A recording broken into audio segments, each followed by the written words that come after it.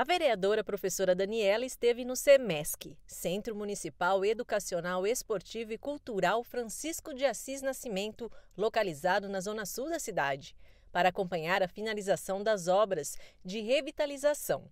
O local estava abandonado há anos e completamente destruído. Em 2020, a professora Daniela apresentou requerimentos solicitando as melhorias no local que estava em condições precárias.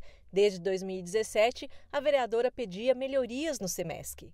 Quando a gente veio aqui, 2017, ver a situação desse ginásio, assim, de verdade, eu pensei que nunca fosse chegar no, no estágio que está hoje. E a população mariliense do entorno aqui sempre nos procurando, pedindo.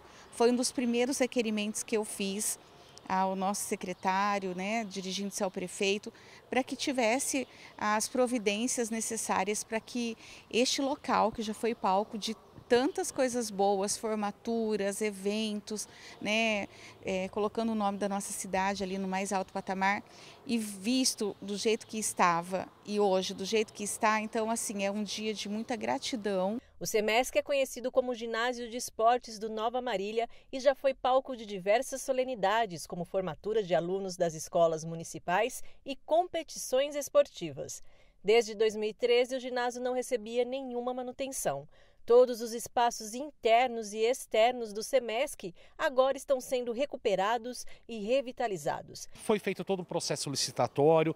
Primeiro a gente fez o estudo quanto à estrutura do prédio, foi feito todas as adequações e agora a gente está aqui na fase final para poder entregar essa obra para a população, especialmente para as crianças da Zona Sul. A expectativa é que as obras terminem até o final desse ano. A gente sabe que a hora que entregar este local, né, que a população receber este local do jeito que merece, nós teremos aí também muitos projetos envolvendo a educação e as nossas crianças merecem. Então é, é gratificante você ver que como função nossa de vereadora pedir e ser atendido é, é o que vale, né? Então esse é o trabalho e eu estou muito feliz, na verdade realizada.